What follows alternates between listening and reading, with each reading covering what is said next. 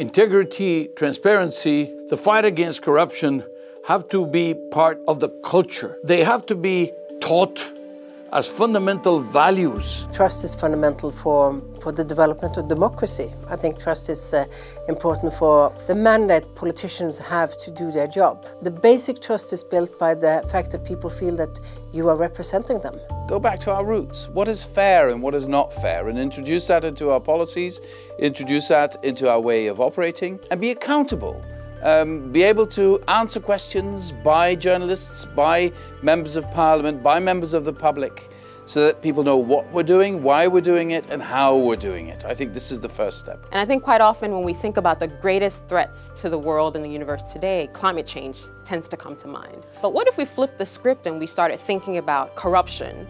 Um, as one of the greatest threats to human advancement. One thing that we keep on hearing is the commitment by politicians saying that they are committed to fight against corruption. My impression is that they are aware of what corruption means, but they are not so much aware of what commitment means. Every single person on this planet is currently suffering because of some kind of corruption somewhere. All of us have a duty to fight against this stuff and to try and make sure that we are trying to push forward the anti-corruption, pro-integrity agenda. And ultimately, if we can do that, then we can protect something as basic as our entire way of life.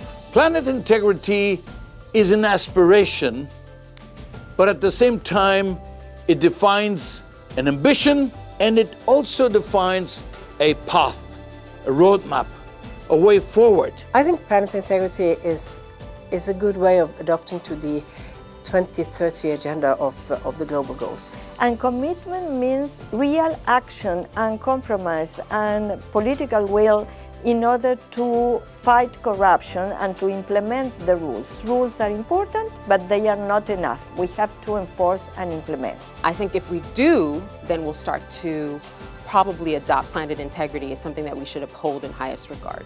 We must be able to make sure that uh, we preach integrity in our communities.